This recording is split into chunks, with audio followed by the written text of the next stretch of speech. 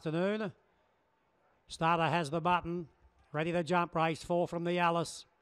Ready, they're away and racing.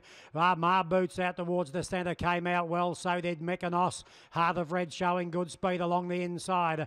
They're followed by Osbred Royal out deeper on the track. Twisted Miller going between them. Uh, they're followed further back by Burgundy Lass and Desert Lash. Uh, Desert Lady is a clear last. 700 left to go. And the speedster Mar Boots across onto the rail. Led by two lengths. Mykonos Mitigate's moving up to third. Osbred Royals three deep as they approach the home corner. Two lengths to Heart of Red, then Twisted Miller. Burgundy Lass, second last, giving the leader seven lengths. Desert Ladies a clear last. Mar Boots the one to catch. He turns for Holmes, shot away by three lengths.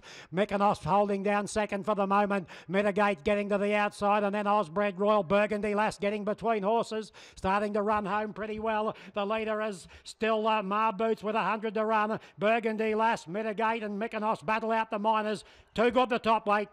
All the way win. Good effort.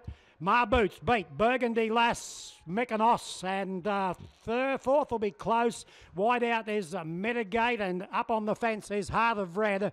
Uh, they were followed in by Desert Lady and uh, Twisted Miller. He ran last.